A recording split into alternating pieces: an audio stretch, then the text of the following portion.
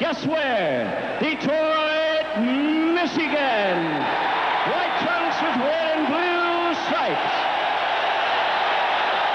Challenging and the leading contender for title honors, weighing 146 and a half. A welterweight that has done almost everything asked of him. 26 great knockouts and 28 wins. He is known as the Motor City Cobra. Here's the undefeated hitman, Tommy Hearns.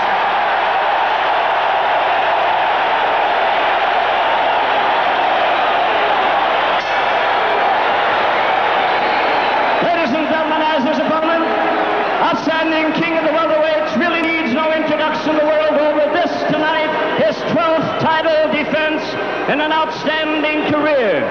24 knockouts and his 27 wins.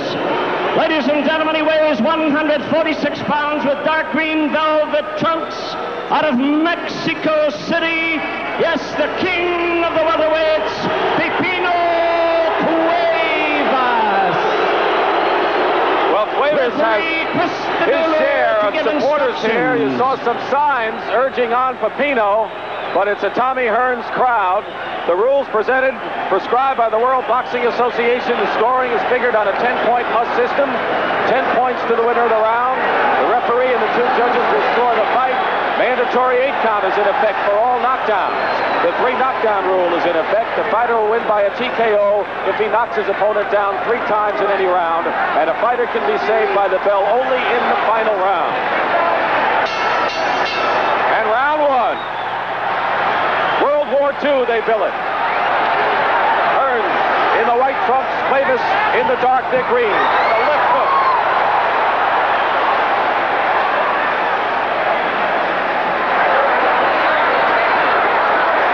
Hearns felt coming in that Cuevas would make an easy target. Well, he is an easy target, but the whole thing is getting overconfident and gamble because he can't punch. We talk about Hearns' right hand. Let's not forget about a punishing left jab. Always got to, and listen, Hearns' best punch is a counter left hook if you fall in. It's not only that. He's a complete fighter. He's not just a, a jab or right cross to fight. He punches with either hand. There goes the slippery shoes. He got leather shoes on, and uh, uh, Hearns has got rubber shoes on. Well, that's got to be something your handlers have to go and check the surface of the ring. Well, they got to get that rosin out. They got to cut his, cut the, uh, the shoelace, the bottom of the shoes with a knife or something. Hearns with a combination, and he is on the attack here in round one, and a right hand. Right hand to the head of Cuevas and a left to the body. Tommy Hearns stalking Pipino Cuevas in this first round. Halfway through the opening round. Cuevas takes an excellent punch, and he's, he's absorbed some real good shots already early. He's never been knocked down. 22 years old is Cuevas. Hearns is 21. Cuevas backing up is making the wrong move in there because Hearns picks up momentum when he backs you against the rope. Good right hand following a left. And Cuevas is taking the punishment now. And if he can show Hearns that he can take this kind of punishment, it could turn to his advantage. Yeah, but that kind of punishment don't do nobody no good. Cuevas got to start getting some respect from from Cuevas. Less than a minute to go in round one. It's been Hearns' round thus far. Right hand staggers Cuevas. Takes a great punch. That was a beautiful shot right on the chin. Hearns with that tremendous shoulder and arm strength. Well, the whole story is going to have to survive early, Cuevas, to be in this fight with Hearns. Less than a half a minute to go in the opening round. Hearns keeping outside. Chris jab as he connects right there. But the right hand has done damage here in round one. Cuevas looked toward his corner last time around. 10 seconds to go in the first round scheduled for 15 for the WBA Welterweight Championship. At Hearns stalking Cuevas in round one, Angelo. Really hit him with a real good right hand shot, and he took it real well. Round two now. See what Lupe Sanchez told Cuevas between rounds.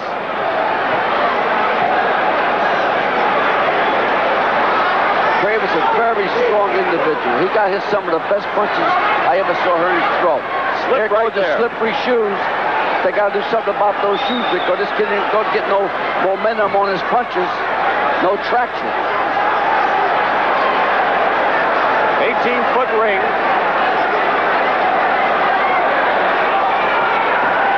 Hearn has been going after Cuevas.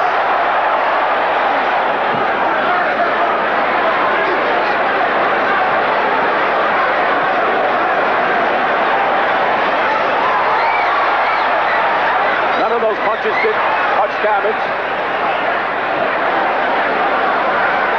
But Pino hasn't in position to land that left hook. He's had to keep his distance against Hearns, and that reach is paying off here. Well, the whole thing is he's not firing back. Hearns is punching him at will. Pipino's going to have to get something going because he's going to be dominated. Good right hand. Following it up is Thomas. Cuevas can take the punches in a combination as John Pipino against the ropes, and now he fights back. And this is the war we had anticipated. Cuevas misses wildly with a right and left. Hearns on the attack. Will School under Emanuel Steward at the Kronk Recreational Center in Detroit came from the Detroit streets, and they love it here at the Joe Louis Arena. Cuevas already showing uh, lumps on his left side of his face from those punches he just got hit. Minute to go, round two. Solid left hand, coming back with the right. The combinations for Hearns, who's following up. That's right. And Pipino's missing all his punches so far. He can't get no traction under his feet. That's his big problem right now. Spending the entire two rounds backing up, which is not his style. That's correct. He's got to take the plate to Hearns if he's going to do anything with him. Hearns has no... Hearns is going All over. All over. Pipino. Pipino Cuevas is down. And he's all right. He shakes his hand, tells Stanley Christodoulou, the referee, he's okay, and that's all. The fight is over. It ends in the second round. And Thomas Hearns becomes the new WBA welterweight champion. Detroit as a welterweight champion. Cuevas got up in time, and Christodoulou stopped the fight.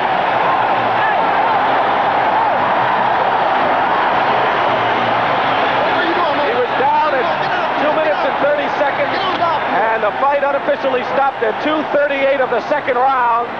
Thomas Hearn, with his 27th knockout in 29 victories, is the welterweight champion. And there's Cuevas in his corner, and I don't think he had any idea what hit him. Take us through it. Great right hand. Great way he reacted. He fell down. Second hand, right hand wasn't even necessary. On he the was way on down. his way down, face down. Christodoulou right on top of him counted. He got up about the count of six. Told Christodoulou he was okay. He got up in time, but Lupe Sanchez jumped up and stopped the was fight. The Sanchez. manager, because he knew the kid had nothing, he was out of it. Here is Thomas. in there. Just spit it right in there. Don't worry about it. Clap your hands, be sharp, change your angle. Give him that, hey, hey, come on. And snap your punch. You saw the